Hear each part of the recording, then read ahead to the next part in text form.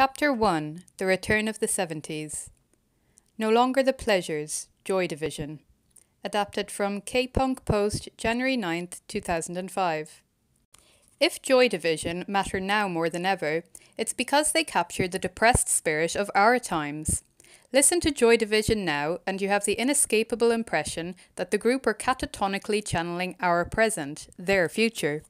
From the start, their work was overshadowed by a deep foreboding, a sense of a future foreclosed, all certainties dissolved, only growing gloom ahead. It has become increasingly clear that 1979 to 1980, the years with which the group will always be identified, was a threshold moment, the time when a whole world, social democratic, Fordist, industrial, became obsolete, and the contours of a new world, neoliberal, consumerist, informatic, began to show themselves. This is, of course, a retrospective judgment. Breaks are rarely experienced as such at the time, but the 70s exert a particular fascination now that we are locked into the new world. A world that Deleuze, using a word that would become associated with Joy Division, called the Society of Control. The 70s is the time before the switch, a time at once kinder and harsher than now. Forms of social security then taken for granted have long since been destroyed, but vicious prejudices that were then freely aired have become unacceptable. The conditions that allowed a group like Joy Division to exist have evaporated, but so has a certain grey grim texture of everyday life in Britain, a country that seemed to have given up rationing only reluctantly. By the early noughties, the 70s was long enough ago to have become a period setting for drama, and Joy Division were part of the scenery. This was how they featured in Michael Winterbottom's 24 Hour Party People. The group were little more than a cameo here, the first chapter in the story of Factory Records and its buffoon genius impresario, Tony Wilson. Joy Division assumed centre stage in Anton Corbijn's Control, but the film didn't really connect. For those who knew the story, it was a familiar trip. For those not already initiated, however, the film didn't do enough to convey the group's sorcerous power. We were taken through the story, but never drawn into the maelstrom, never made to feel why any of it mattered. Perhaps this was inevitable. Rock depends crucially on a particular body and a particular voice, and the mysterious relationship between the two. Control could never make good the loss of Ian Curtis's voice and body, and so ended up as arthouse karaoke naturalism. The actors could simulate the chords, could ape Curtis's moves, but they couldn't forge the vortical charisma, couldn't muster the unwishing necromantic art that transformed the simple musical structures into a ferocious expressionism, a portal to the outside. For that, you need the footage of the group performing, the sound of the records, which is why, of the three films featuring the group, Grant Gee's 2007 documentary Joy Division patched together from Super 8 fragments, TV appearances, new interviews, and old images of post war Manchester, was most effective at transporting us back to those disappeared times. Gee's film begins with an epigraph from Marshall Berman's All That Is Solid Melts into Air, the experience of modernity. To be modern is to find ourselves in an environment that promises us adventure, power, joy, growth, transformation of ourselves and the world, and at the same time that threatens to destroy everything we have, everything we know, everything we are. Where Control tried to conjure the presence of the group but left us only with a tracing, an outline, Joy Division is organized around a vivid sense of loss. It is self consciously a study of a time and a place, both of which are now gone. Joy Division is a roll call of disappeared places and people. So many dead already, not only Curtis, but also the group's manager Rob Gretton, their producer Martin Hannett, and of course Tony Wilson. The film's coup, its most electric moment, the sound of a dead man wandering in the land of the dead, a scratchy old cassette recording of Ian Curtis being hypnotized into a past life regression. I travelled far and wide through many different times a slow, slurred voice channeling something cold and remote. How old are you? Twenty eight. An exchange made all the more chilling because we know that Curtis would die at the age of 23. Asylums with doors open wide. I didn't hear Joy Division until 1982, so for me, Curtis was always already dead. When I first heard them, age 14, it was like that moment in John Carpenter's In the Mouth of Madness when Sutter Kane forces John Trent to read the novel, the hyperfiction, in which he is already immersed.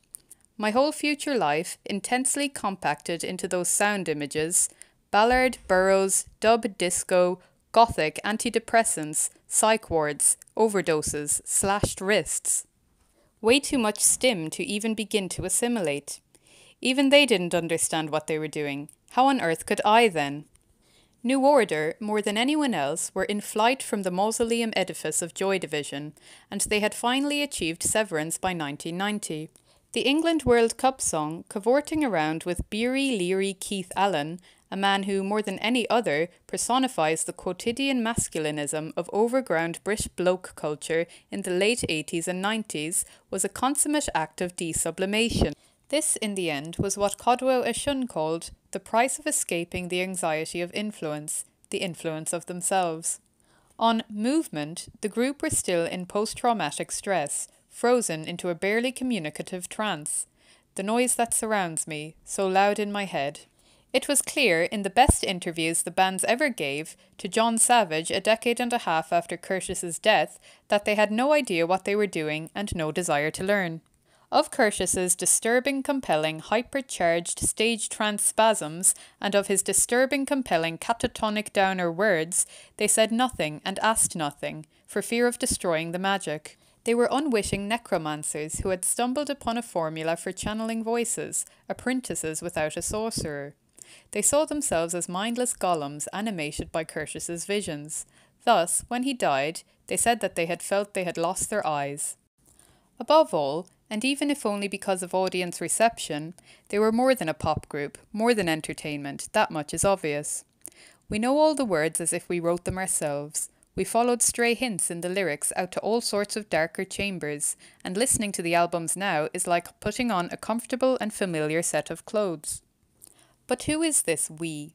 Well, it might have been the last we that a whole generation of not quite men could feel a part of. There was an odd universality available to Joy Division's devotees, provided you were male, of course. Provided you were male, of course. The Joy Division religion was self consciously a boy's thing. Deborah Curtis.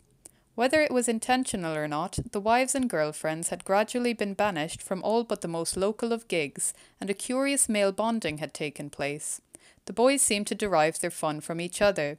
No girls allowed. As Curtis's wife, Deborah was barred from Rock's pleasure garden and could not pass into the cult of death that lay beyond the pleasure principle. She was just left to clear up the mess. If Joy Division were very much a boys' club, their signature song, She's Lost Control, saw Ian Curtis abjecting his own disease, the holy sickness of epilepsy, onto a female other.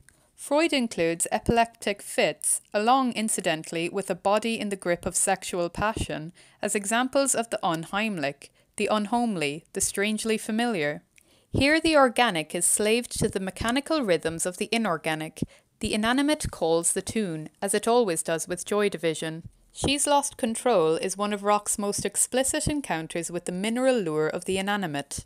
Joy Division's icy spined undeath disco sounds like it has been recorded inside the damaged synaptic pathways of a brain of someone undergoing a seizure. Curtis's sepulchral anhedonic vocals sent back to him, as if they were the voice of an other or others in long leering expressionistic echoes that linger like acrid acid fog.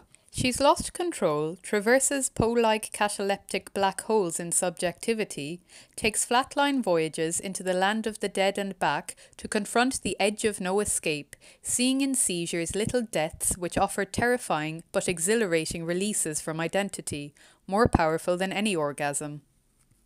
In this colony. Try to imagine England in 1979 now. Pre-VCR, pre-PC, pre-C4. Telephones far from ubiquitous, we didn't have one till around 1980, I think. The post war consensus disintegrating on black and white TV. More than anyone else, Joy Division turned this dourness into a uniform that self consciously signified absolute authenticity. The deliberately functional formality of their clothes seceding from punk's tribalized anti glamour, depressives dressing for the depression. It wasn't for nothing that they were called Warsaw when they started out. But it was in this eastern bloc of the mind, in this slough of despond, that you could find working class kids who wrote songs steeped in Dostoevsky, Conrad, Kafka, Burroughs, Ballard, Kids who, without even thinking about it, were rigorous modernists who would have disdained repeating themselves, never mind disinterring and aping what had been done 20, 30 years ago. Back in 79, art rock still had a relationship to the sonic experimentation of the Black Atlantic. Unthinkable now, but white pop was then no stranger to the cutting edge, so a genuine trade was possible. Joy Division provided the Black Atlantic with some sonic fictions it could redeploy.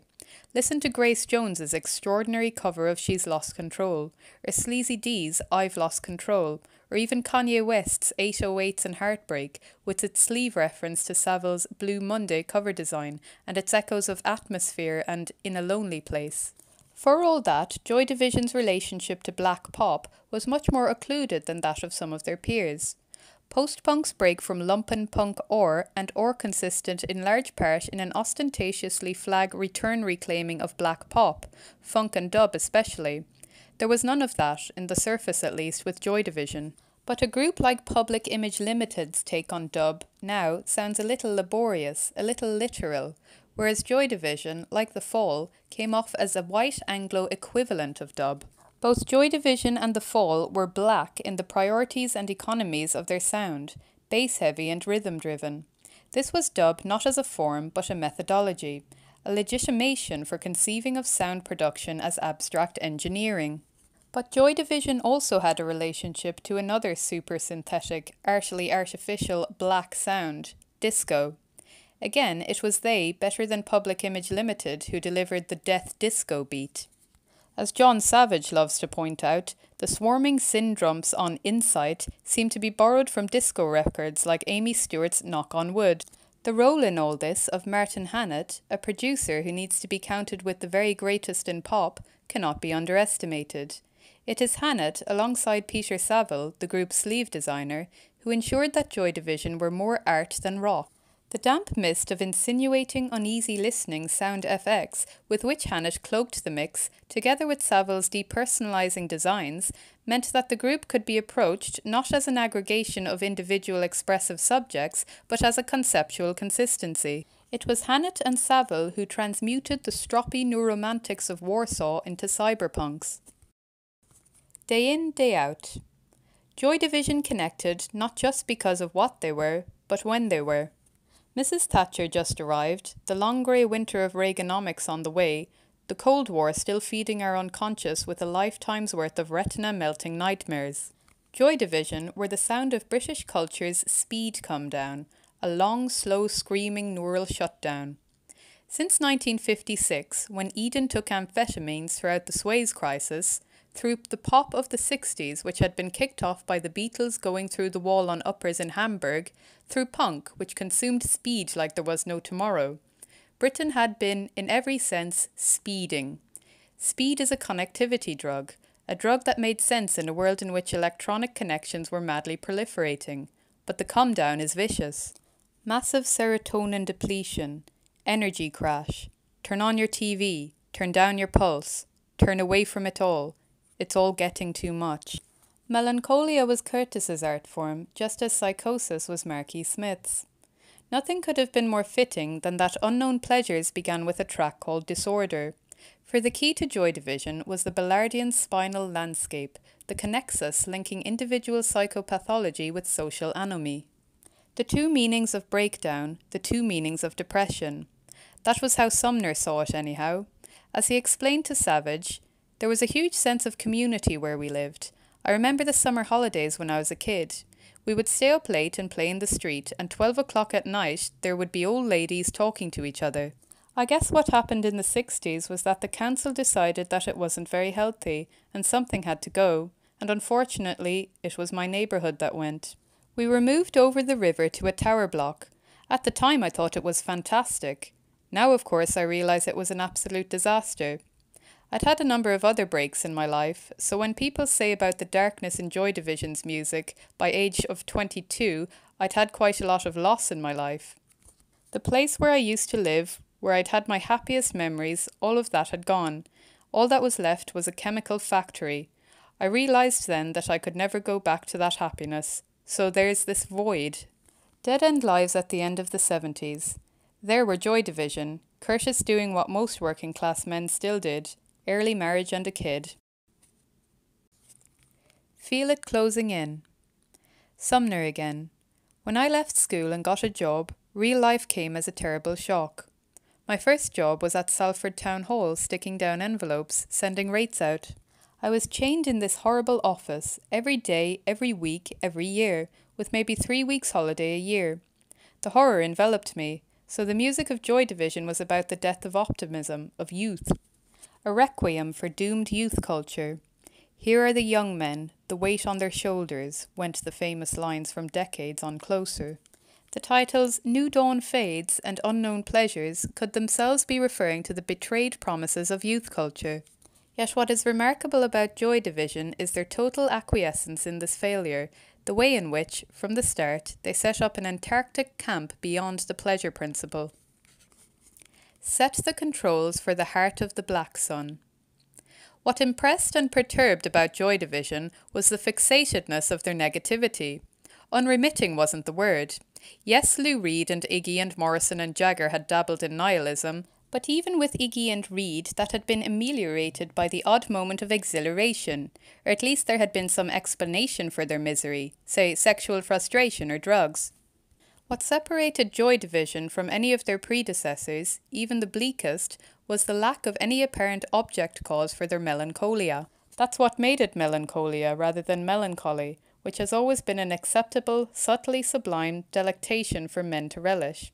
From its very beginnings, Robert Johnson and Sinatra, 20th century pop has been more to do with male and female sadness rather than elation.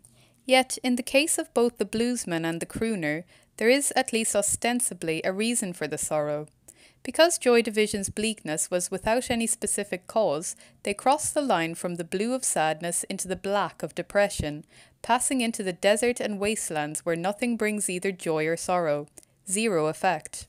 No heat in Joy Division's loins. They surveyed the troubles and the evils of this world with the uncanny detachment of the neurasthenic. Curtis sang, I've lost the will to want more on Insight, but there was no sense that there had been any such will in the first place. Give their earliest songs a casual listen, and you could easily mistake their tone for the curled lip of spiky punk outrage, but already it is as if Curtis is not railing against injustice or corruption so much as marshalling them as evidence for a thesis that was, even then, firmly established in his mind. Depression is, after all and above all, a theory about the world, about life. The stupidity and venality of politicians, leaders of men, the idiocy and cruelty of war, walked in line, are pointed to as exhibits in a case against the world, against life, that is so overwhelming, so general, that to appeal to any particular instance seems superfluous. In any case, Curtis expects no more of himself than he does of others. He knows he cannot condemn from a moral high ground. He let them use you for their own ends. He'll let you take his place in a showdown. This is why Joy Division can be a very dangerous drug for young men. They seem to be presenting the truth. They present themselves as doing so. Their subject, after all, is depression. Not sadness or frustration, rock standard downer states, but depression. Depression, whose difference from mere sadness consists in its claim to have uncovered the final unvarnished truth about life and desire. The depressive experiences himself as walled off from the life world, so that his own frozen inner life, or inner death, overwhelms everything. At the same time, he experiences himself as evacuated, totally denuded, a shell. There is nothing except the inside, but the inside is empty. For the depressive, the habits of the former life world now seem to be precisely a mode of play acting, a series of pantomime gestures, a circus complete with all fools, which they are both no longer capable of performing and which they no longer wish to perform. There's no point, everything is a sham. Depression is not a sadness, not even a state of mind. It is a neurophilosophical disposition. Beyond pop's bipolar oscillation between evanescent thrill and frustrated hedonism, beyond Jagger's Miltonian Mephistophelianism, beyond Iggy's negated carny, beyond Roxy's lounge lizard reptilian melancholy, beyond the pleasure principle altogether, Joy Division were the most Schopenhauerian of rock groups, so much so that they barely belonged to rock at all. Since they had so thoroughly stripped out rock's libidinal motor, it would be better to say that they were libidinally as well as sonically anti rock. Or perhaps, as they thought, they were the truth of rock, rock divested of all illusions. The depressive is always confident of one thing that he is without illusions. What makes Joy Division so Schopenhauerian is the disjunction between Curtis's detachment and the urgency of the music, its implacable drive standing in for the dumb insatiability of the life will, the Beckettian I must go on, not experienced by the depressive as some redemptive positivity, but as the ultimate horror. The life will paradoxically assuming all the loathsome properties of the undead. Whatever you do, you can't extinguish it, it keeps coming back. Accept like a curse an unlucky deal. Joy Division followed Schopenhauer through the curtain of Maya, went outside Burroughs' Garden of Delights, and dared to examine the hideous machineries that produce the world as appearance. What did they see there? Only what all depressives, all mystics always see the obscene undead twitching of the will as it seeks to maintain the illusion that this object, the one it is fixated upon now, this one will satisfy it in a way that all other objects thus far have failed to.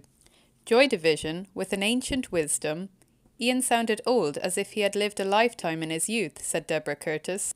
A wisdom that seems pre mammalian, pre multicellular life, pre organic. This is the insight that stopped fear in Curtis, the calming despair that subdued any will to want more. Joy Division saw life as the Poe of the Conqueror Worm had seen it, as Ligotti sees it, an automated marionette dance, which, through a circle that ever rerunneth in to the self-same spot, an ultra-determined chain of events that goes through its motions with remorseless inevitability. You watch the pre-scripted film as if from outside, condemned to watch the reels as they come to a close, brutally taking their time. A student of mine once wrote in an essay that they sympathise with Schopenhauer when their football team loses. But the true Schopenhauerian moments are those in which you achieve your goals, perhaps realise your long cherished heart's desire, and feel cheated, empty, no more, or is it less than empty, voided. Joy Division always sounded as if they had experienced one too many of those desolating voidings, so that they could no longer be lured back onto the merry-go-round. They knew that satiation wasn't succeeded by tristesse, it was itself immediately tristesse. Satiation is the point at which you must face the existential revelation that you didn't really want what you seemed so desperate to have, that your most urgent desires are only a filthy vitalist trick to keep the show on the road. If you can't replace the fear or the thrill of the chase, why stir yourself to pursue yet another empty kill? Why carry on with the charade? Depressive ontology is dangerously seductive because, as the zombie twin of a certain philosophical wisdom, it is half true.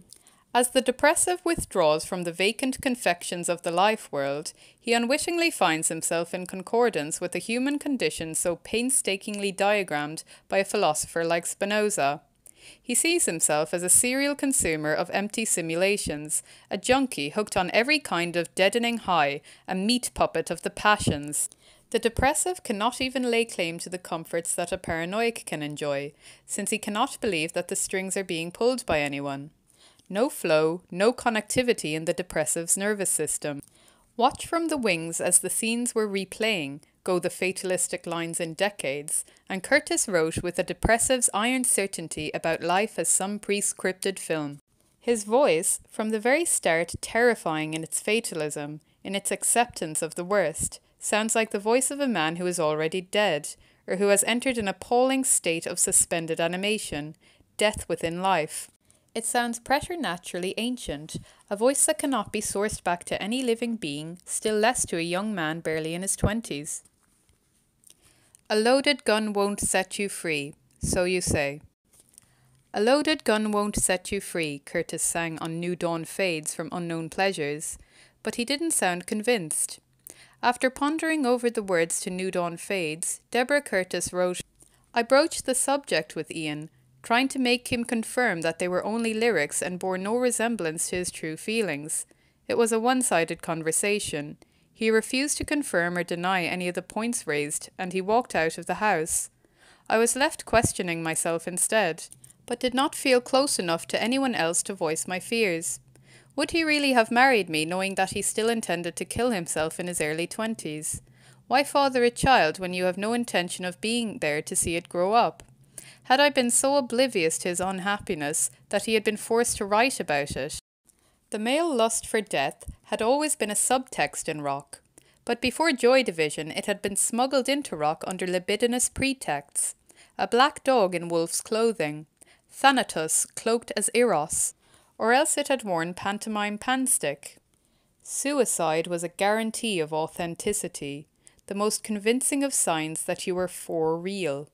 Suicide has the power to transfigure life with all its quotidian mess, its conflicts, its ambivalences, its disappointments, its unfinished business, its waste and fever and heat, into a cold myth as solid, seamless, and permanent as the marble and stone that Peter Saville would simulate on the record sleeves, and Curtis would caress in the lyrics to In a Lonely Place.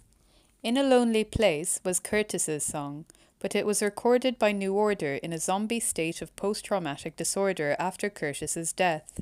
It sounds like Curtis is an interloper at his own funeral, mourning his own death. How I wish you were here with me now. The great debates over Joy Division were they fallen angels or ordinary blokes? Were they fascists? Was Curtis's suicide inevitable or preventable? All turn on the relationship between art and life. We should resist the temptation to be Lorelei lured by either the aesthete romantics, in other words, us, as we were, or the lumpen empiricists. The aesthetes want the world promised by the sleeves and the sound, a pristine black and white realm unsullied by the grubby compromises and embarrassments of the everyday. The empiricists insist on just the opposite, on rooting the songs back in the quotidian at its least elevated, and, most importantly, at its least serious. Ian was a laugh. The band were young lads who liked to get pissed. It was all a bit of fun that got out of hand. It's important to hold on to both of these joy divisions the joy division of pure art and the joy division who are just a laugh at once. For if the truth of Joy Division is that they were lads, then Joy Division must also be the truth of laddism. And so it would appear. Beneath all the red nosed downer fueled jollity of the past two decades, mental illness has increased some 70% among adolescents. Suicide remains one of the most common sources of death for young males. I crept into my parents' house without waking anyone and was asleep within seconds of my head touching the pillow. The next sound I heard was, This is the end, beautiful friend. This is the end, my only friend, the end. I'll never look into your eyes again. Surprised at hearing the Doors' The End, I struggled to rouse myself. Even as I slept, I knew it was an unlikely song for Radio 1 on a Sunday morning. But there was no radio, it was all a dream. Smiley's Game Tinker Tailor Soldier Spy from Film Quarterly, Volume 65, Number 2, 2011. What is the allure of George Smiley?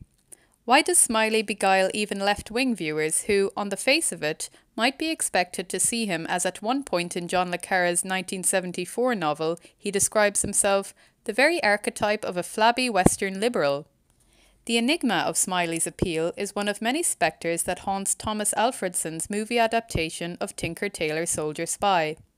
The ghost that most insistently refuses to be exorcised is the 1979 BBC TV version, rightly remembered as one of the greatest ever British television series. Readapting a novel after so accomplished a version is risky, especially when you have a mere two hours to play with, as opposed to the series' more unhurried five. Pace and pacing, as in moving around restively while waiting, were central to the coiling tension of the TV series, which caught the crab-like convolutions and slowly interlocking rhythms of Le Carre's narrative exceptionally well. The limitations of television production actually benefited the sense of expansiveness. Sets and action were minimal. The drama was often about faces, and about Alec Guinness's face in particular, which could suggest a lifetime of regret with even the slightest wince. Guinness's performance was a masterclass in concision and nuance. Not words one would always associate with Gary Oldman, cast emphatically against type as Smiley in the new Tinker Tailor. When a novel creates as rich a myth world as Le Carre's does, no single adaptation will ever completely exhaust it.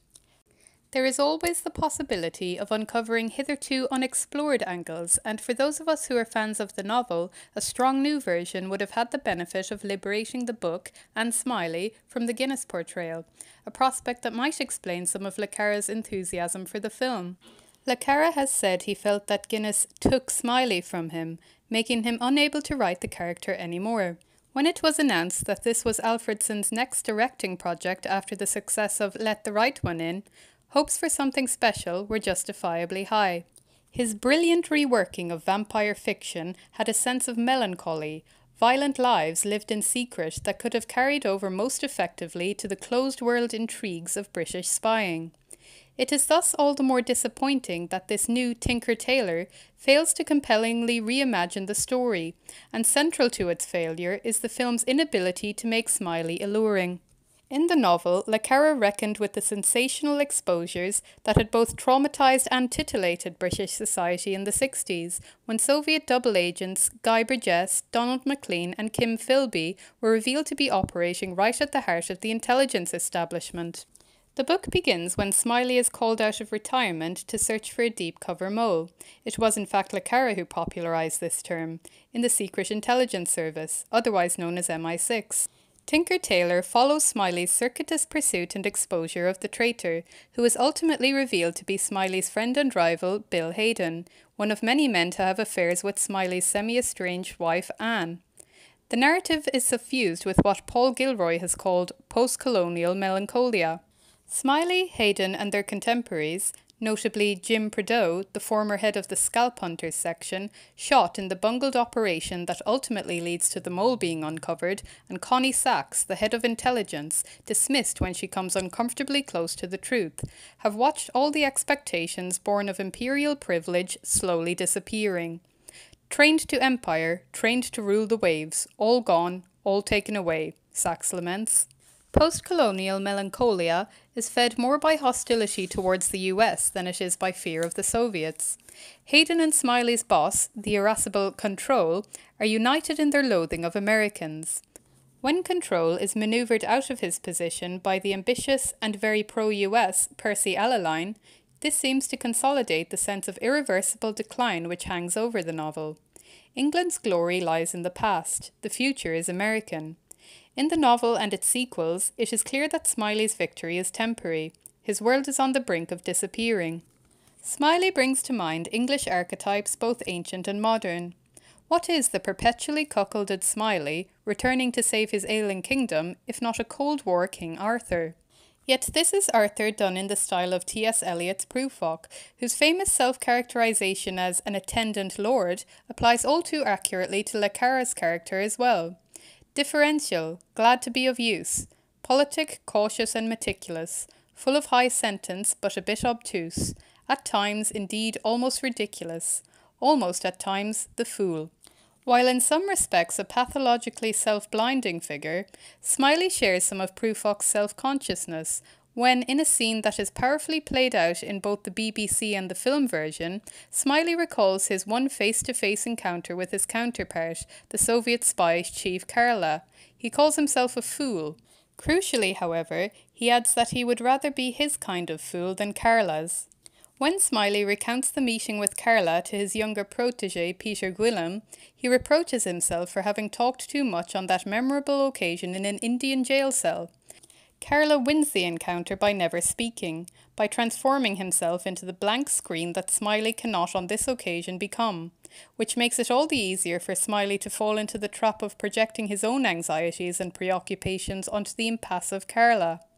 In the novel, Smiley affects to disdain the psychoanalytic language of projection, but tellingly, he cannot resist using these terms to describe himself, appropriately, for in the normal run of things, Smiley's art consists in cultivating a particular kind of silence, not the mere absence of chatter, but the authoritative, probing silence of the psychoanalyst. The face can't give anything away, yet at the same time it has to invite confidence. Those who don't want to talk must be drawn into confiding. And isn't that a large part of Smiley's appeal to those of us from a more adolescent, more compulsively loquacious time? His grown up capacity to engender respect and to quietly solicit our need for his approval. Speaking after a London Critics screening of Tinker Tailor in September, Oldman said that, by contrast with the Guinness version, no one would want to hug his Smiley. Yet the suggestion that we would want to hug Guinness's Smiley is absurd. Surely what we find ourselves craving from Smiley is a word, a gesture, the merest hint of approbation.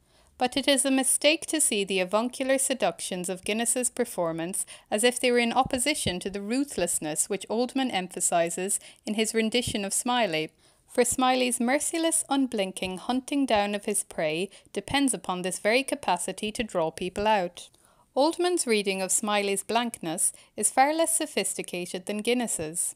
Le Carre's Smiley is famously corpulent, Oldman's is angular, stiff, dyspeptic. We can't imagine ever wanting to confide in him. Oldman's Smiley is simply an inexpressive mask, forbidding, impassive, unyielding. It is as if Oldman is giving us his shallow reading of his grandparents' generation aloof, distant, bottled up. They kept it all inside. They didn't know how to have a good time. For Oldman, Smiley's restraint plays as repression and a certain malicious self satisfaction. His silence is a simple lack of demonstrativeness, or a merely inversive demonstrativeness. Speaking on BBC Radio 4's Today, Le Carre himself identified Oldman's performance of repression as one of the highlights of this new version. You couldn't really imagine Alec Guinness having a sex life, he said. You couldn't imagine a kiss on the screen with Alec, not one that you believed in. Whereas Oldman has quite obviously a male sexuality that he represses, like all his other feelings in the story. Oldman is a smiley waiting patiently to explode. I think the air of frustration, of solitude that he is able to convey is something that really does take me back to a novel I wrote 37 years ago. Sadly, this remark suggests less a new way of seeing Smiley than a certain coarsening of understanding brought about no doubt by the decimation of a therapeutic wisdom which insists that the truth of a character is to be found in their narrowly defined sexuality. To say that Smiley is waiting patiently to explode is a very curious take on a character defined rather by a lack of heat. When Oldman shouts at Haydon, What are you then, Bill? at the climax of the film, this is an abandonment of emotional decorum quite out of keeping with Smiley's character, for whom the English ruling class habit of transposing aggression into the chill of superficially polite discourse comes as second nature. Anger is one of the emotions that the Smiley of the novel feels at the moment of Haydon's exposure, yet it is not the dominant one. Smiley saw with painful clarity an ambitious man born to the big canvas, brought up to rule, divide, and conquer, whose vision and vanities were all fixed, like Percy's, upon the world's game, for whom the reality was a poor island with scarcely a voice that would carry across the water. Thus Smiley felt not only disgust, but, despite all the moment meant to him, a sense of resentment against the institutions he was supposed to be protecting. Thus, the tone of triumphalism with which the film ends, Smiley gloriously restored to his place of honour in MI6, strikes another false note. The Smiley in Alfredson's film is a figure who is far less queer than the Smiley of the novel or the television series. Homosexual desire is widespread in Tinker Tailor, most notably in Prideaux's betrayed love for the flamboyantly polysexual Haydon, but there is no suggestion that Smiley shared these passions. The Smiley of the novel and series is queer in the more radical sense that a normal sexuality cannot be assigned to him. Smiley's is not a fluid, indeterminate sexuality like, say, that of Patricia Highsmith's Tom Ripley. His perversity is renunciation itself. At the preview, Oldman referred approvingly to Le Carre's comments on Guinness's lack of sexuality, but he also characterized Smiley as masochistic, repeatedly subjecting himself to adulterous humiliations, and sadistic, the way he pursues his prey goes far beyond professional duty. Yet the idea that Smiley is sadomasochistic quite clearly contradicts the idea that he is repressed. For sadomasochism entails enjoyment, not repression. Far from being repressed, it is clear that Smiley is driven, driven by something which will not allow him to ever recline into happy retirement any more than he could settle into the pleasures of conjugal life, were they available to him. From his earliest appearances in Le Carre's fiction, in the novels Call for the Dead and A Murder of Quality, Smiley is on the edge of things. In most of the novels which feature Smiley, he rarely appears as officially a member of MI6. He is called out of retirement or pretending to be retired, and when, after Tinker Tailor, he is not only restored to the organisation but made chief, it is in a temporary caretaker capacity. One of the paradoxes of Smiley's character is that he seems to stand for the solidity and stolidity ascribed to a certain model of Englishness, yet he is himself an outsider, an interloper, a voyeur. This is the spy's vocation, and Le Carre repeatedly insists on it, nowhere more passionately than in the bitter outburst of the agent Alec Leamas at the end of The Spy Who Came In From the Cold, so memorably performed by Richard Burton in the 1965 film adaptation. What do you think spies are? Moral philosophers measuring everything they do against the word of God or Karl Marx? They're not, they're just a bunch of seedy, squalid bastards like me. Burton's Leamas tells his lover Liz after it has been revealed that they were pawns in a complex plot hatched by Control and Smiley.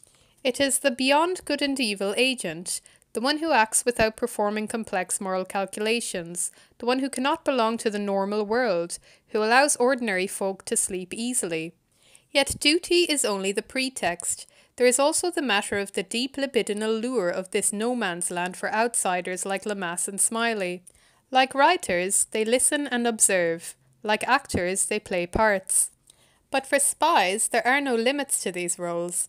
One cannot simply step out of them and return to the warm, because everything, including inner life itself, all its wounds and private shames, starts to feel like a cover, a series of props. There is a revelatory passage towards the end of the second Smiley novel, A Murder of Quality, first published in 1962. At the end of the novel, a strange whodunit thriller, Smiley confronts the murderer, but in the later confrontation with Karla, he ends up talking about himself. And there are some of us, aren't there, who are nothing, who are so labile that we astound ourselves. We're the chameleons. I read a story once about a poet who bathed himself in cold fountains so that he could recognize his own existence in the contrast of it. The people like that, they can't feel anything inside them, no pleasure, no pain, no love or hate. They have to feel that cold water. Without it, they're nothing. The world sees them as showmen, fantasists, liars, as sensualists perhaps, not for what they are, the living dead. There is a clear implication in this slide from first person, some of us, to third person, people like that. The cold warrior Smiley is himself one of the living dead. In psychoanalytic terms, Smiley is less a sadomasochist than an obsessional neurotic. Lacan, in fact, argues that the question posed by the obsessional is Am I alive or am I dead?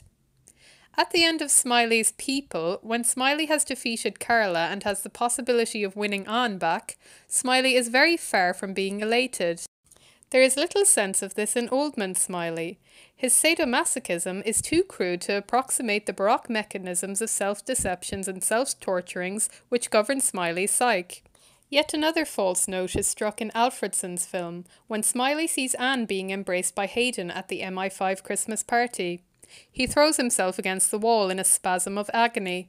In other respects, the party scene adds something which wasn't there in the BBC version a sense of the camaraderie within the department, but it is hard to imagine Smiley engaging in so public and so spontaneous a display of emotion. More troublingly, to suggest that Smiley would straightforwardly feel pain when confronted with Anne's infidelities is to betray the very idea that he is masochistic. When confronted about Anne in the novel and TV adaptation, Smiley's preferred pose is one of weary resignation, but this conceals the secret satisfaction that he experiences in Anne playing her assigned role as impossible object. But where the masochist would organise his enjoyment around this impossible object, for Smiley, the function of Anne's unattainability is to keep her at a safe distance. His enjoyment is not organised around Anne or sexuality at all, and when she is safely unattainable, she cannot trouble him. Unlike in the TV series, we never see the faces of either Anne or Karla, Smiley's other other in the film. This rightly suggests that both figures are at least partially absent for Smiley, filled in with his fantasies. But what's missing is an account of the way that Smiley fills in these fantasy screens, and any sense of discrepancy between the fantasy figures that Smiley projects and their real life counterparts. In the film, Smiley cannot remember what Karla looked like. In the novel, he gives a detailed description of his adversary. Defined externally by his struggle against Karla, Smiley's internal struggle consists of his necessarily thwarted attempts to refute any identification with his Soviet counterpart. Smiley's attempts to distance himself from the fanatic Karla, his attempts to position himself outside of politics itself, are the exemplary gestures of a very English ideology, which appeals to a pre or post political notion of common humanity. Yet ironically, what Smiley and Karla have in common is their inhumanity their exile from any sort of normal world of human passions.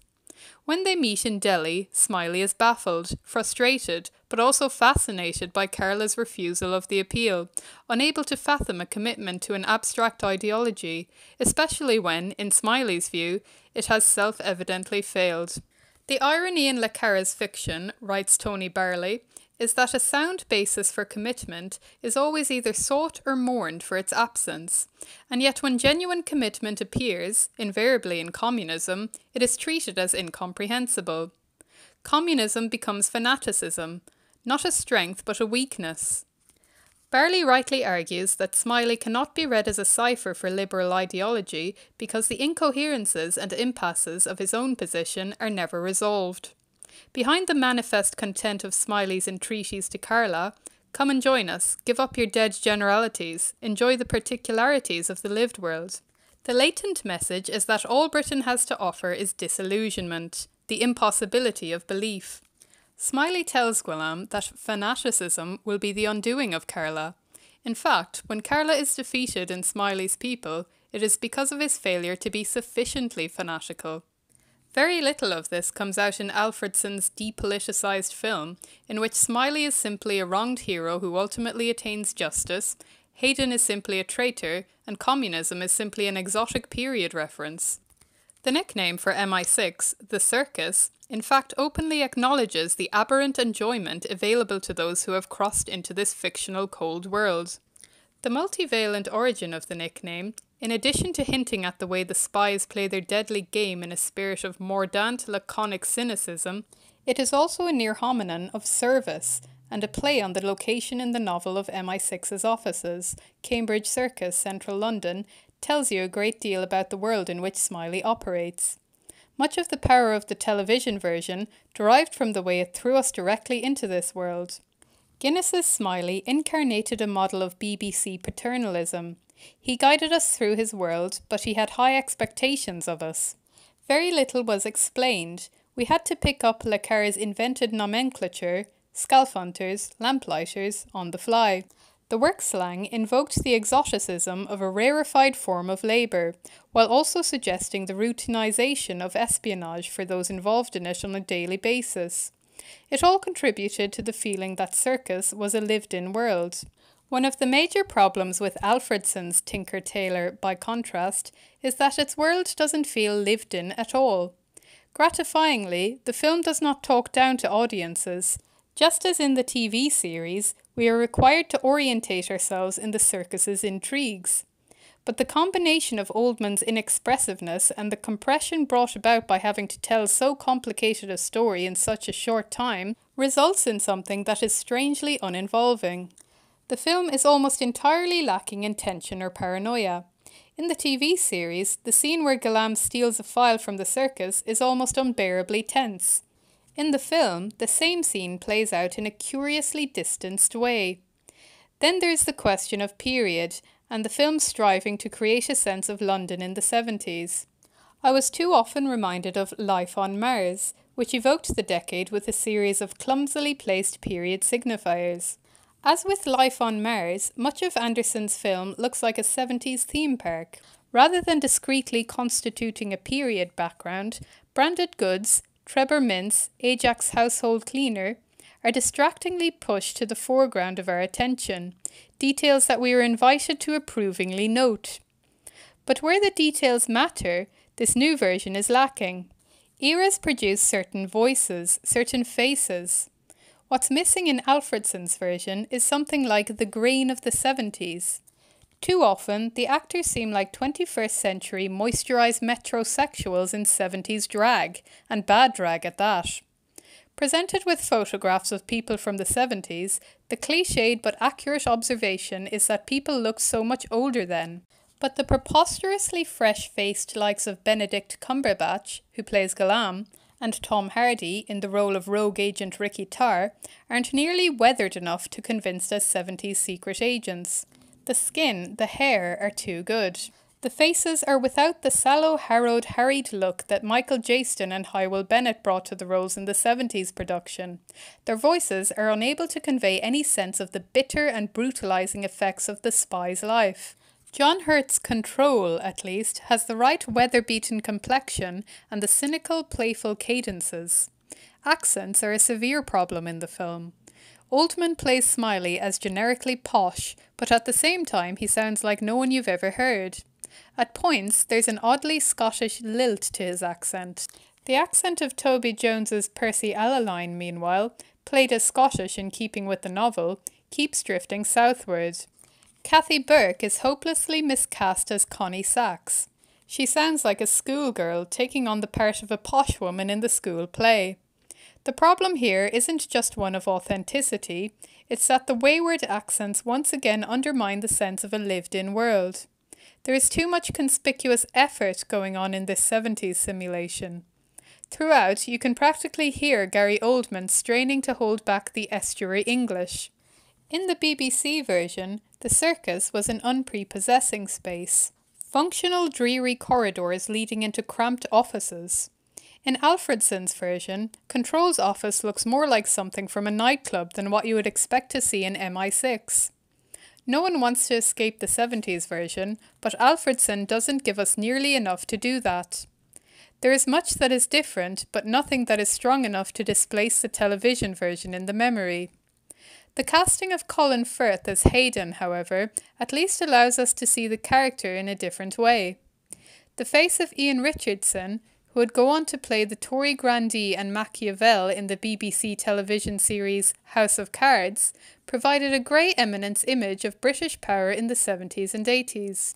I don't know who it was who said that Colin Firth looks like the midway point between the current British Prime Minister David Cameron and his deputy Nick Clegg, but the observation is very astute. The face of the British establishment no longer has the hawk like puckishness of Richardson. It has the rumpled, casual youthfulness of Firth. One of the major problems with Alfredson's film is that it assumes the ruling values of the neoliberal world governed by youth and consumerism. Isn't this what American codes for in the Smiley novels? Richard Sennett has argued that the chronic short termism of neoliberal culture has resulted in a corrosion of character, a destruction of permanence, loyalty, and the capacity to plan. Isn't Smiley's allure tied up with the possibilities of character itself? In the 70s, Smiley showed up all the inadequacies, squalid compromises, and subterranean brutalities of social democracy. Then, Smiley's doubts and his failings prompted us to imagine a better world, even as we struggled to resist Smiley's blankly and perversely comforting avuncularity. Now, when that better world seems, if anything, further away, it takes all our effort to resist the lure of nostalgia for the social democratic world of which Smiley was both the conscience and the dirty secret. The past is an alien planet. The first and last episodes of Life on Mars. K-Punk Post, January 10th, 2006. Life on Mars is symptomatic enough to be interesting Symptomatic of what? Well, of a culture that has lost confidence not just that the future will be good, but that any sort of future is possible. And also, life on Mars suggests that one of the chief resources of recent British culture, the past, is reaching the point of exhaustion. The scenario is that Sam Tyler, John Simm, a detective from 2006, is hit by a car and finds himself back in 1973. The game that you can't help playing as you watch is How convincing is the simulation of 1973? You're constantly on the lookout for period anachronisms. The answer is that it isn't very convincing. but not because of anachronisms. The problem is that this is a 73 that doesn't feel lived in. The actual post psychedelic quasi Eastern Bloc seediness of the 70s is unretrievable. Kitsch wallpaper and bell bottoms are transformed instantly into style quotations the moment the camera falls upon them. There must be some technical reason. Maybe it's the film stock they used that accounts for why British TV is no longer capable of rendering any sense of a lived in world. No matter what is filmed, everything always looks like it's been thickly, slickly painted in gloss, like it's all a corporate video. That remains my problem with the new Doctor Who as it happens. The contemporary British scenes look like a theme park, a very stagey, stage set, too well lit. Look out, there's a thief about, public information films on black and white TV, open university lectures with preposterous moustaches and voluminous collars, the test card. Everything is so iconic, and the thing with icons, after all, is that they evoke nothing. The icon is the very opposite of the Madeleine, Chris Marker's name, rhyming Hitchcock and Proust, for those totemic triggers that suddenly abduct you into the past. The point being that the Madeleine can only manage this time snatching function because it has avoided museumification and memorialization, stayed out of the photographs, been forgotten in a corner. Hearing T Rex now doesn't remind you of 73, it reminds you of nostalgia programs about 1973. And isn't part of our problem that every cultural object from 1963 on has been so thoroughly forensically mulled over that nothing can any longer transport us back? A problem of digital memory. Baudrillard observes somewhere that computers don't really remember because they lack the ability to forget. K-Punk Post, April 13th, 2007. In the end, the science fiction elements of life on Mars consisted solely in an ontological hesitation. Is this real or not? As such, life on Mars fell squarely into Todorov's definition of the fantastic as that which hesitates between the uncanny, that which can ultimately be explained naturalistically, and the marvellous, that which can only be accounted for in supernatural terms. The predicament that life on Mars explored was Is Sam Tyler in a coma and the whole 70s world in which he is lost some kind of unconscious confabulation? Or has he, by some means not yet understood, been transported back into the real 1973? The show maintained the equivocation until the end. The final episode was ambivalent to the point of being cryptic. Simm has wryly observed that the show's central conceit lets the production off the hook. If Tyler was in a coma, then any of Life on Mars's historical inaccuracies could be explained away as the gaps in the character's recollections of the period. No doubt the enjoyment of Life on Mars derived from its imperfect recollection not of 1973 itself, but of the television of the 70s. The programme was mitigated nostalgia, I love 1973 as a cop show. I say cop show because it is clear that the SF elements of life on Mars were little more than pretexts. The show was a meta cop show rather than meta SF. The time travel conceit permitted the showing of representations which would otherwise be unacceptable, and beneath the framing ontological question, is this real or not, there was a question about desire and politics. Do we want this to be real? As the avatar of the present, Sam Tyler became the bad conscience of the 70s cop show, whose discontent with the past permitted us to enjoy it again. Simm, as the modern enlightened good cop, was less the antitype of antediluvian bad cop Gene Hunt than the postmodern disavowal which made possible our enjoyment of Hunt's invective and violence. Hunt, played by Philip Glenister, became the show's real star, beloved of the tabloids who adored quoting his streams of abuse, carefully constructed by the writers so that they could come across as comic rather than inflammatory. Hunt's no nonsense policing was presented with enough grit to make us wince, but never so much violence that it would invoke disgust. In this respect, the programme was the cultural equivalent of a blow to a suspect that would not show up under later medical examination. Undoubtedly, although perhaps unintentionally, the show's ultimate message was reactionary. In the end, rather than Tyler educating Hunt, it was he would come to accommodation with Hunt's methods. When, in the final episode, Tyler is faced with a choice between betraying Hunt or staying loyal, at this point in the narrative, it appears that Tyler's betrayal of Hunt is the requisite price Tyler must pay in order to return to 2007. This also became a choice between 1973 and the present day that amounted to a decision, not about the collar lengths or the cultural preferences, but about policing styles. Audience sympathy is managed such that, however much we disapprove of Hunt, we are never supposed to lose faith in him, so that Tyler's betrayal seemed far worse than any of Hunt's many misdemeanours. Tyler's apparent return to 2007 underscores this by presenting the modern environment as sterile, drearily worthy, ultimately far less real than the rough justice of Hunt's era. Modern wisdom, how can you maintain the law by breaking the law, is set against Hunt's renegade heroic identification of himself with the law. I am the law, so how can I break it? The deep libidinal appeal of Hunt derives from his impossible duality as upholder of the law and he who enjoys unlimited jouissance. The two faces of the father, the stern lawgiver and pure jouissance, resolved. The perfect figure of reactionary longing, a charismatic embodiment of everything allegedly forbidden to us by political correctness. Can the world be as sad as it seems? David Peace and his adapters. David Peace's four Red Riding novels were acts of exorcism and evacuation of the near past, a bloody riposte to I Love the 70s clip show nostalgia.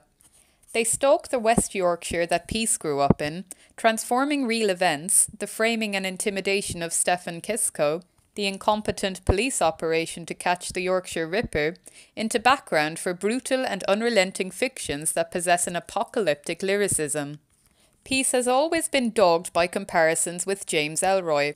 There's no doubt that encountering Ellroy liberated something in Peace, but in the end, Peace is the better writer.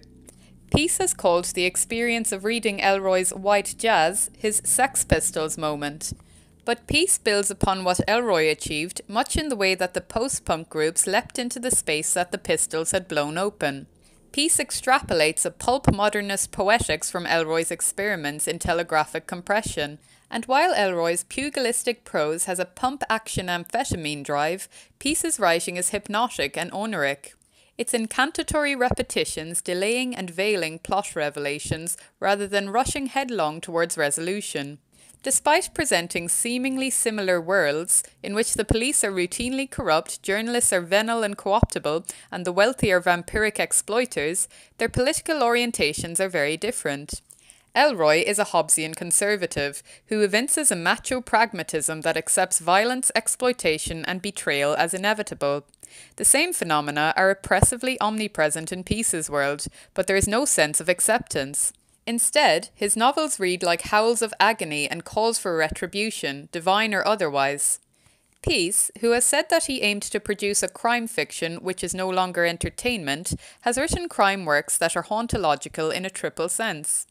The crime genre is, of course, well suited to explore the moral, existential, and theological problems posed by what Quentin Meillassoux called odious deaths.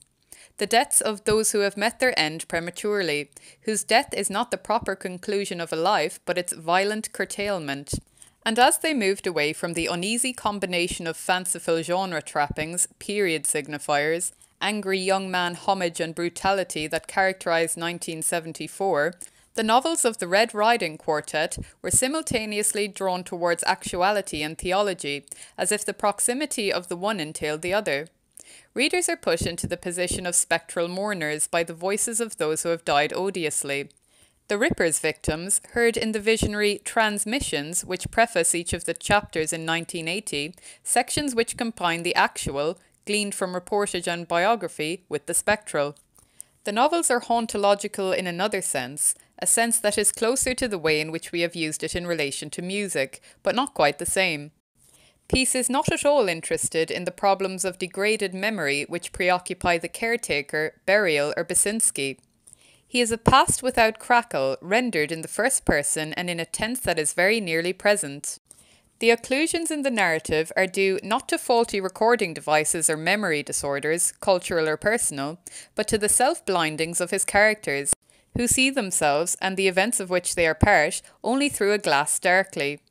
In the end, everything, narrative, intelligibility, succumbs to total murk as the characters begin to dissociate. It becomes difficult to know what is happening or what has happened. At a certain point, it is unclear as to whether we have crossed over into the land of the dead.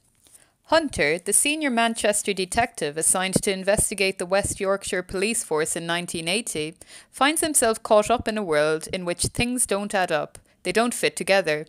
It's a Gnostic terrain, the Gnostics thought that the world was made up of a corrupt matter characterized by heavy weight and impenetrable opacity, a murky, muddy mire in which fallen angels, one of the persistent images in the Red Riding books, are trapped.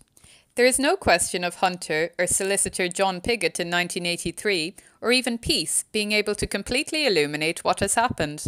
This is a world in which, as Tony Grisoni, the screenwriter who adapted the novels for Channel 4, puts it, narratives disappear into the dark.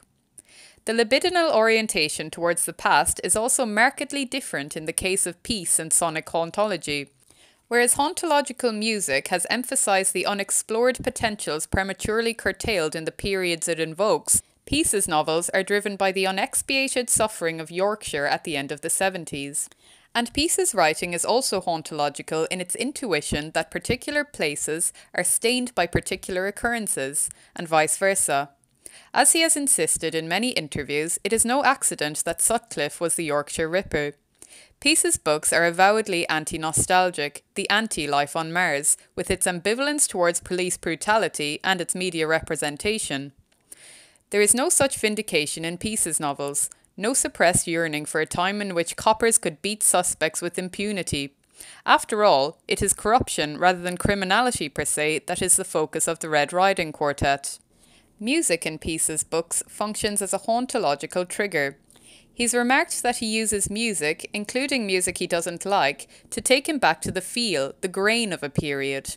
Musical references are embedded in the text either diegetically as background sound or more esoterically as cryptic epigraphic ciphers and repeated incantations, a portal effect that gratifyingly echoes, in reverse, the way in which the music of the 70s, especially post punk, would direct listeners to fiction. 1980 is haunted in particular by throbbing gristle, especially the phrase that they took from another killer, Charles Manson. Can the world be as sad as it seems? In Peace's hands, this question becomes an urgent theological inquiry, the very relentlessness of the sadness and misery he recounts calling forth an absent God, a God who is experienced as absent, the great light eclipsed by the world's unending tears. The world, the sad, desolated world, is full of angels whose wings have either been shorn off, reduced to stubble, or which have grown into gigantic, dirty monstrosities, Addict angels hooked on alcohol, casual but incessant lusts, and the trash of the consumer society that is struggling to be born out of the wreckage of the social democratic consensus. Angels whose ultimate response to the world is puking. Everyone pukes in Peace's novels. Throwing up the whiskies and the undercooked crispy pancakes, but never being able to purge any of it, never being able to take flight. The religious elements in the books become increasingly foregrounded as the quartet develops, until the deeply ambiguous hallucinatory ending of 1983 becomes a quasi Gnostic treatise on evil and suffering. The final section of the novel, Total Eclipse of the Heart, that transfiguration of pop cultural reference into epigraph being one of Peace's signature techniques, explicitly posits the idea that, far from undermining the existence of God, evil and suffering entail that God must exist. Eclipse implies something that is eclipsed, a hidden source of light that produces all this shadow. In the philosophy of religion, the problem of evil maintains that suffering, particularly suffering visited upon the innocent, means that the theistic God could not exist, since a benevolent, omnipotent, and omniscient being would not countenance undeserved suffering. With his inventory of wretched child abuse cases, Dostoevsky's Ivan Karamazov makes the most famous and most passionate statement of this position. Yet if there is no God, the suffering remains, only now there is no possibility of its expiation. If there can be no justice to come, the universe is permanently blighted, irrevocably scarred by atrocity, abuse, and torture. The Red Riding novels inspired Channel 4 into making the kind of television dramas that some of us had long since ceased hoping could ever be made in Britain again. The three films, broadcast in 2009, were the most striking British dramas of the first decade of the 21st century, towering above all the facile costume epics, routine police procedurals, and emotional pornography which clogged the schedules. Moreover, in their use of setting and landscape, in the epiphantic power of their images, the Red Riding films attained a visual poetry and an expressionist naturalism that exceeded practically anything British cinema has achieved in the past 30 years. As Nick James observed in his preview of the Red Riding films for Sight and Sound, nothing in the previous career of the Red Riding's three directors, Julian Jarrold for 1974, James Marsh for 1980, and Anand Tucker for 1983, gave any hints that they could produce work of this quality. In many ways, it is as if the auteur of these films was Peace himself, and the three directors succeed so consummately because they allowed themselves to be channels of his infernal vision. It was inevitable that some compression occurred in the transition from page to screen. Indeed, one whole novel from Peace's Red Riding sequence, 1977, was never filmed. But Tony Grisoni deserves immense credit for the way that he weaved the three films into a symphonic coherence that nevertheless refused easy closure and intelligibility. Peace's equivalent of Ellroy's anti hero Dudley Smith, the corrupt detective who justifies his own running of drugs and vice operations as containment, is Maurice Jobson, the way faced policeman who features in all three of the films. Where Smith, as masterfully played by James Cromwell in the best Ellroy adaptation to date, LA Confidential, is charming, charismatic, and flamboyantly loquacious, Jobson, as played by David Morrissey in the C4 adaptations, is taciturn, abstracted, immobile, blank, in a semi-fugue state of disassociation from the atrocities he participates in. Morrissey's is one of many excellent performances in the trilogy, all of them masters of measure and controlled power, proper television film acting, far from the braying thespery that the British theatrical tradition often turns out. Rebecca Hall is damaged and dangerous as Paula Garland. Maxine Peake, angular yet vulnerable as Helen Marshall. Sean Harris manages to make Robert Craven plausibly loathsome without tripping over into grand guignol grotesquerie, while Paddy Considine brings a flinty resolution to the role of Peter Hunter, one of the few lightbringers in the Red Riding's North, an invented world in which evil enjoys carnivalesque license and the police and the powerful are free to do what they want. The film adaptation of Peace's extraordinary novel, The Damned United, lived down to expectations to just about the same extent that the Channel 4 films exceeded them. The team tasked with adapting the novel looked unpromising. Director Tom Hooper, drafted in after Stephen Frears left the project, had a background in fairly unremarkable television. He would later go on to make The King's Speech while the shtick of screenwriter Peter Morgan and lead actor Michael Sheen, as established in The Queen and Frost Nixon, didn't have any obvious fit with Peace's fractured and abrasive modernism. In the end, Hooper and Morgan didn't adapt Pearce, they eliminated him.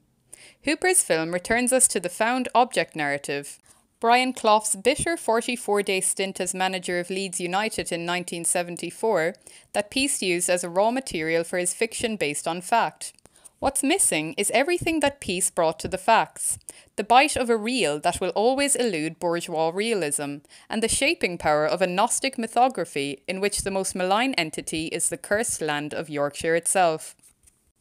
It can be tiresome to criticise a film adaptation simply for the ways it differs from its source novel. In this case, however, a close comparison of the two versions of The Damned United is instructive for two reasons. First, because in erasing Peace's signature, the film in effect competes with his rendition of the Clough Leeds story. And second, because Peace's pulp modernism precisely offers British culture an escape from the kind of good humoured, well balanced, middle of the road, middlebrow realism that Hooper and Morgan trade in. At the press screening, Morgan said that when he read The Damned United, it brought a nostalgia rush like eating Farley's rusks. Yet surely even the most guileless of the readers of Peace's novel could see that it tastes not of the warm mush of baby food, but of bile scotch and reflux stomach acid. In Hooper and Morgan's hands, Clough's story is reduced to all the givens, all the off the shelf narratives and thematic pegs He was a misunderstood genius, struggling against an establishment represented by puffed up provincial patriarchs like the Derby County chairman Sam Longson, well played by Jim Broadbent. He was self destructive, and he needed his partner Peter Taylor, Timothy Spall, to curb his excesses. He was locked into an Oedipal struggle with the man he replaced at Leeds, Don Revie. Even this is told more than it is shown, and throughout the audience treat it as if it is witless. Dialogue is too often used for clumsy plot exposition or to crudely telegraph themes. Not only do Hooper and Morgan fail to evoke Peace's existential terrain, his blighted vision of Yorkshire, they also convey little of his intense sense of territoriality. In the novel, Leeds's Elland Road ground is the site of a struggle over space in which Clough is up against both the spectre of Don Revie and the animal aggression of the players he has left behind. A striking image from the novel of Clough chopping up and burning Revie's desk in an attempt to exorcise the absent father ghost inexplicitly never made it to the screen. The film also misses the purgatorial rhythm of sport, which Peace caught so acutely. As every sports fan, never mind about coach, knows, the jouissance of sport is essentially masochistic. The Damned United shows what Clough's tragedy was, Chris Petit put in his review of the novel. Deep down, he knew that winning was only loss deferred. The intense fear that colours everything in Peace's novel is dissolved in a tone that is frequently jaunty. Then there is Michael Sheen. The problem with Sheen's now well established approach to historical characters is that it deprives the film's world of any autonomous reality. Everything is indexed to a reality external to the film, judged only by how well it matches our already existing images of the character, whether that be Clough, Kenneth Williams, Blair, or Frost. And there are bizarre bleed throughs between the characters. At one point, it felt as if Sheen's campy Clough had morphed into Kenneth Williams. Certainly, Peace has an advantage over the filmmakers here, Written fiction can move beyond received television images of figures from recent history far more quickly than film can, but an actor with more courage and presence than Sheen might have reached beyond physical appearances to reach a truth of Clough not accessible via TV footage. Instead, Sheen offers his usual tracing of mannerisms and verbal tics, competent enough as far as it goes, but devoid of any of the tortured inner life that Peace gave to his Clough. Even if the acting were uniformly superb, it would have needed far more than Hooper provides in order to summon the dread and misery of Peace's world. But the indifferent photography and often appalling soundtrack make Hooper's The Damned United feel more like a dramatisation of actual events than a film of Peace's novel. Now then, now then. Jimmy Savile and the 70s on Trial. From July 2013. The turn that events took had all the look of some kind of ritual assassination. The killing not of a body, the body was already dead, but of a name. It was as if some kind of deal had been struck. You'll get to live out your life with your reputation intact, or as intact as it could be, but a year after your death, it will all be destroyed. Nothing, absolutely nothing, will survive. Your headstone will be dismantled. The penthouse in which you lived will be demolished. Your name will become synonymous with evil. September 2012 and it all starts to come up. Like a build-up of effluent that could no longer be contained, first seeping, then surging out.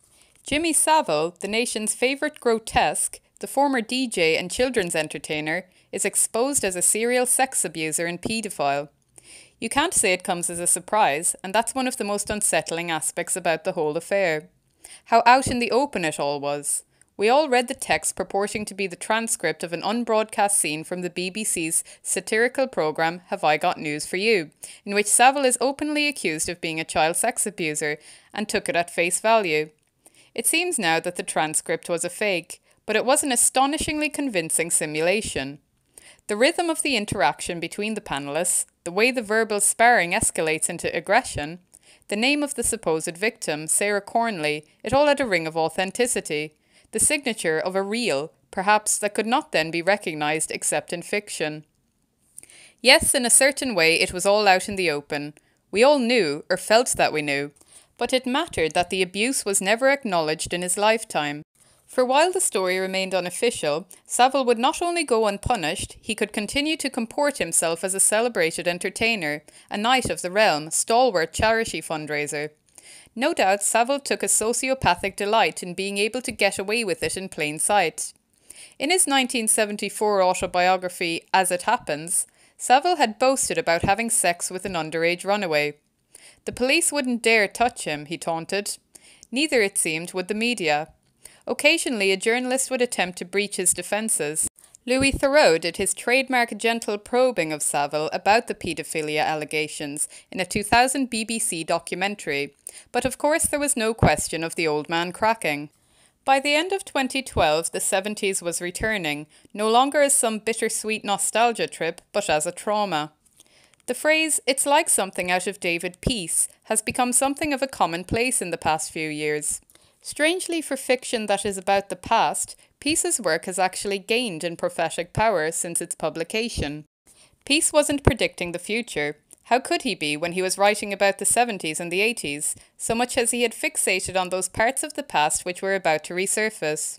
The Fritzl case had echoes of an underground lair in which children are kept prisoner in the Red Riding novels.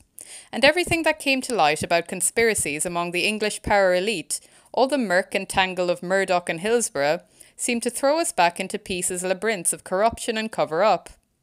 Murdoch, Hillsborough, Savile. Pull on one thread and it all started to connect, and wherever you looked, there was the same grim troika police, politicians, media. Watching each other's backs, partly for fear that they will be stabbed in their own back.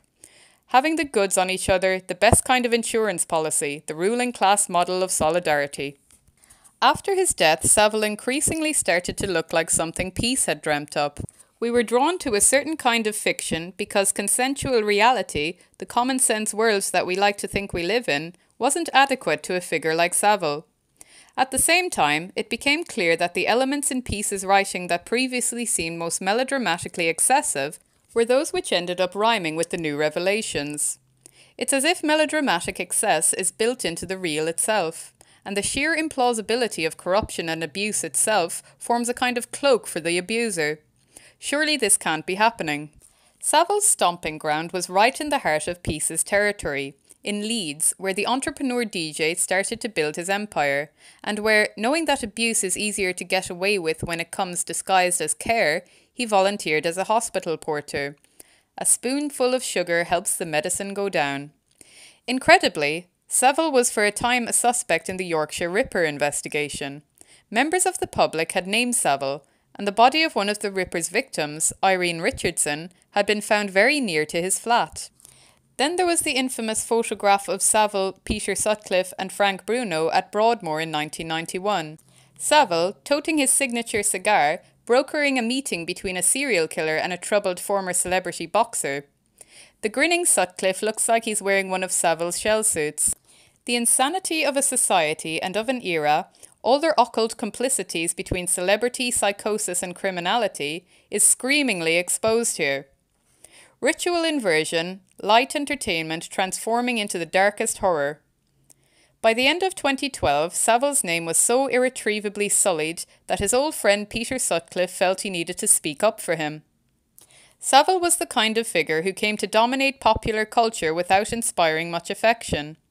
You couldn't say he was ever loved. Someone writing into the London Review of Books dug up the BBC's audience research reports on Savile's first appearance on Top of the Pops.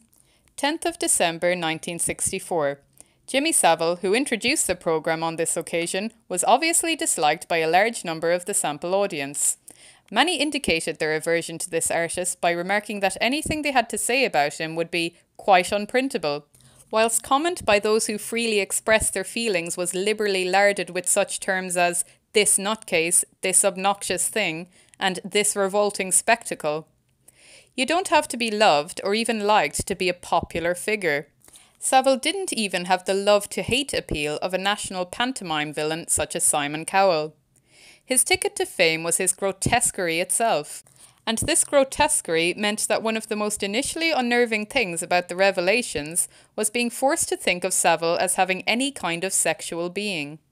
As Andrew O'Hagan argued in his piece on Savile for the London Review of Books, what mattered in the new world of television light entertainment was not likability or talent, but a certain larger than life aura.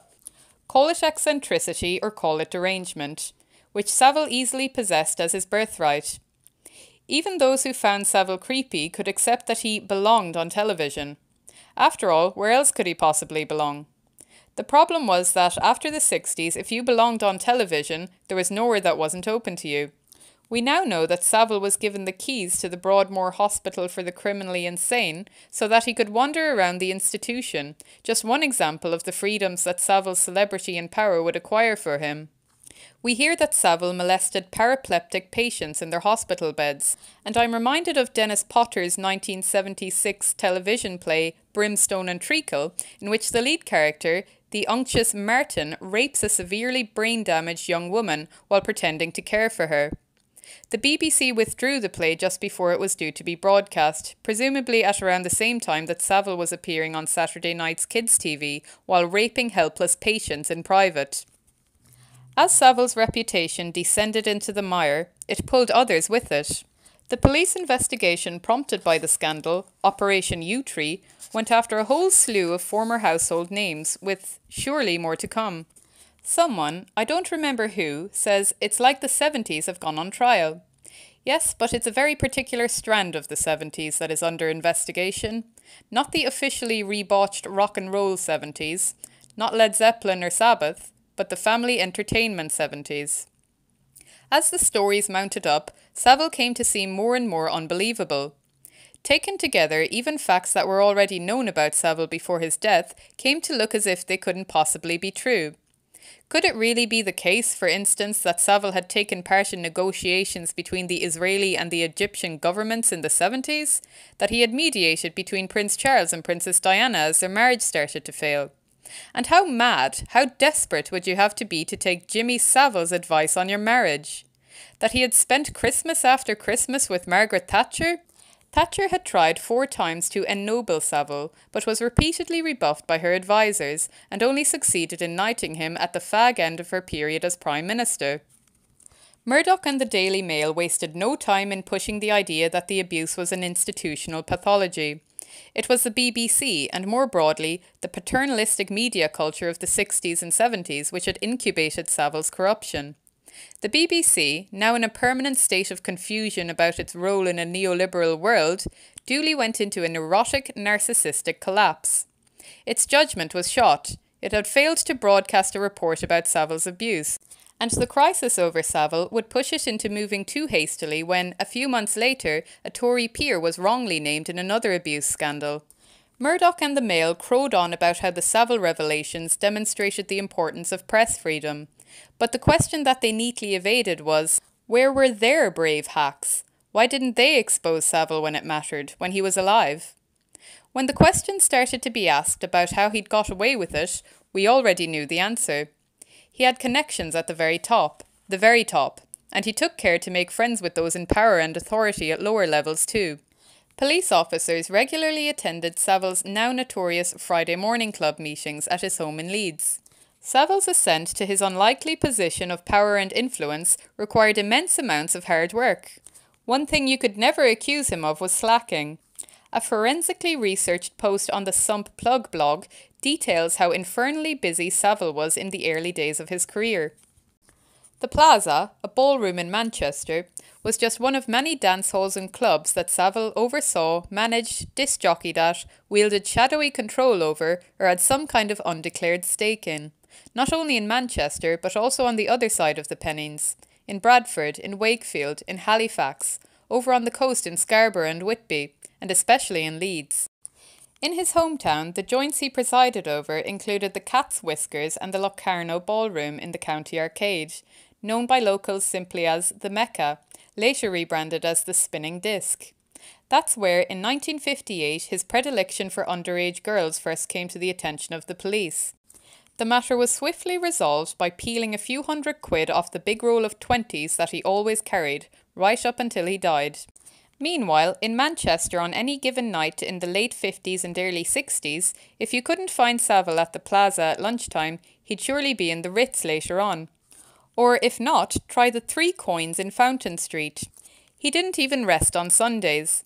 That was when he spanned the platters for upwards of 2,000 jivers and twisters at his top 10 club at Belle Vue. The man was everywhere, at practically every major dance hall and nightclub in the North's heaving cornubations, as much of a fixture as the rotating mirror ball. Savile's empire quickly spread down south too, down to the Ilford Palais and to Decca Records, who would pay him to play their latest releases. Up north, Savile's rackets were protected by a gang of bodybuilders, boxers, and wrestlers, including, improbably for those of us who came to know him as the comically fat wrestler Big Daddy, cuddly mainstay of Saturday afternoon television, Shirley Crabtree. The roots of 70s television were here, in these ballrooms and dance halls, their seediness waiting to be transubstantiated into light entertainment. But a year after Savile's death, the transubstantiation would go into extreme reverse. Now then, now then, one of Savile's catchphrases started to assume an ominous significance. Only a few months previously, the BBC had broadcast a number of programmes celebrating his life and work. Now, condemnation is not enough. All traces of his existence must be removed. Not only is the headstone taken away, but we hear, can this possibly be true?